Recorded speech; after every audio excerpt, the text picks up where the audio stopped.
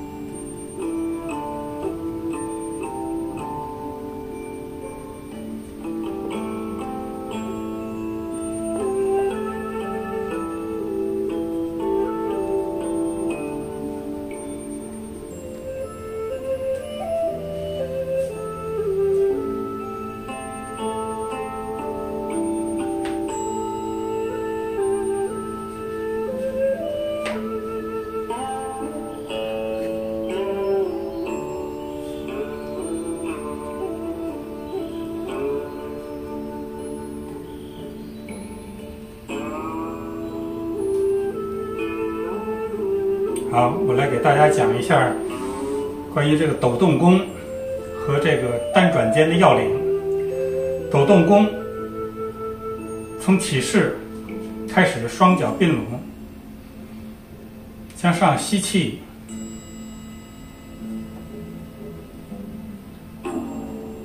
膻中穴呼吸三次，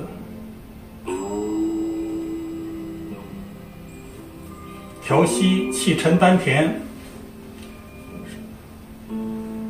双手分开，双脚分开，由膝盖发力，带动全身；由肩上下带动小臂、大臂，由慢至快。手腕放松，肩向上抖动，牙齿轻磕，自然呼吸，抖动一分钟左右，由快至慢，慢慢的恢复平静。这时候的双手是麻、胀、酸的感觉，这时候气已经打到了所有的手的所有的经络都开始疏通，五脏六腑开始由有序打为无序，通过抖动，所有的隔膜都打开。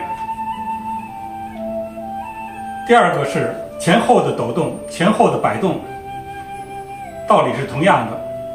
所以要通过第三式单转肩，两个肩这样的旋转，把气整个的圆回来。做的方法：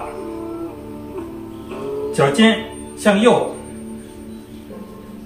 压迫涌泉穴转动向左，压迫涌泉穴向右，配合着肩。下压，吸气，呼气，下压，吸气，下压，吸气，最后是收工。